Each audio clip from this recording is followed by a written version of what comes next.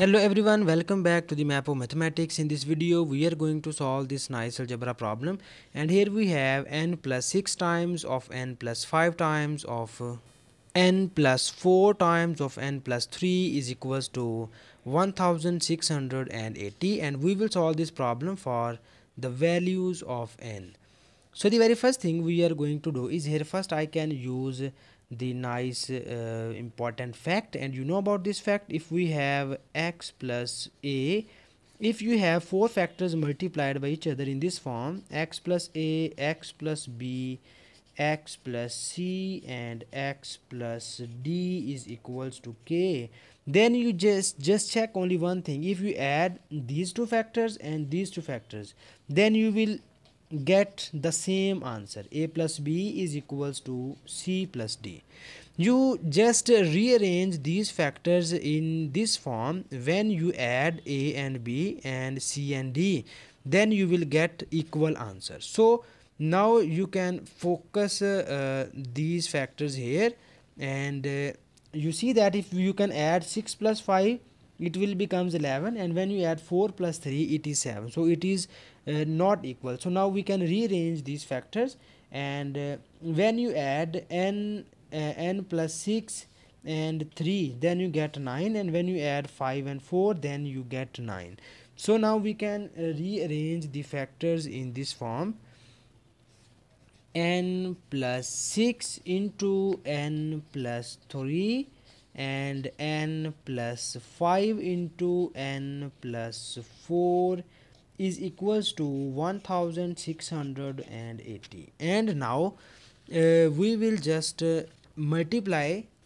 these two factors and these two factors as well. So now first we will multiply these factors here and you get n square plus 3n plus 6n plus 18 and when we multiply these two factors then you will get here n square plus 4n plus 5n and plus 20 and this whole equation is equals to 60 and 80 and now we will simplify the terms uh, so that here you obtain n square plus 9n and plus 18 into here we add these factors and you get n square plus 9n and plus 20 and this whole is equals to 1680 and in the next step you will see here we have n square plus 9 and n square plus 9 so now first i can uh, rearrange these factors in this form. n square plus 9n plus we write 18 as 19 minus 1 and similarly here you have n square plus 9n plus 20 and we will write this 20 as 19 plus 1 and this whole is equals to 16 and 80 and now you see that this be the common factor. So now we can uh, just take here y is equals to n square plus 9n plus 19 so that this equation will becomes in the form of y minus 1 into y plus 1 and this whole is equals to 1680 and now in the next step uh, you can uh, see here we have y minus 1 and y plus 1 and it is equals to y square minus 1 and this whole is equals to 1680 and now we will move this minus 1 in the right hand side and you will get y square is equals to 1680 plus 1 it will becomes 1681 so that now we will just take the square on both of the sides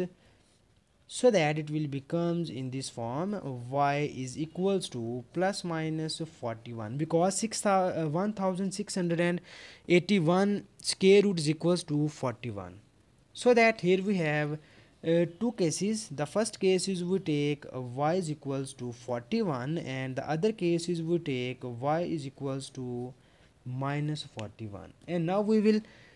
back substitute the value of y and the value of y is n square plus 9n plus 19 so when you can put here then you get n square plus 9n plus 19 is equals to 41 and here you have n square plus 9n plus 19 is equals to minus 41 and now you can just uh, solve these two nice quadratic equations. So here you have n square plus 9n plus when we move 41 in the left hand side then you will get here minus 22 is equals to 0 and similarly when we move minus 41 here then you get n square plus 9n and plus 60 is equals to 0 here you remember one thing is that we will solve this problem for the real values of n so that now first I can check uh, is this quadratic equation has real roots or not by using the discriminant formula. So here you have delta is equals to b square minus 4 times of ac and you know that uh, if this delta is less than 0 it means that it has no real roots and if this delta is greater than 0 then it means that it has real roots. So now we can put the values of a b and c here. So you have the value of b is 9 so it will becomes 9 square minus 4 times of a is 1 and c is 60 and it is equals to the square of 9 is 81 and 4 times of 60 is 240 and you can see that it will be less than 0 and if this answer is less than 0 then it uh, means that it has no real root. So if it has no real roots we will reject it this case and we can just proceed here this case only. And now we can factorize this case so here we can make the factor of this equation uh, and we will write it as n square plus 11n minus 2n minus 22 is equals to 0 and now we can take common n here and you get n plus 11 and we take common minus 2 and you get n plus 11 is equals to 0 and we can take common n plus 11 on both of the factors and you get n minus 2 is equals to 0 and finally we have uh, two cases n plus 11 is equals to 0 and n minus 2 is equals to 0 so uh, finally we will get here the two roots uh, two real roots of this problem. So the first is n is equals to minus 11 and the second is n is equals to 2 so finally we have two roots which is minus which is 2 and minus 11 so this is the our final answer of this problem. And thank you so much for watching this video. Please subscribe to my channel for more exciting videos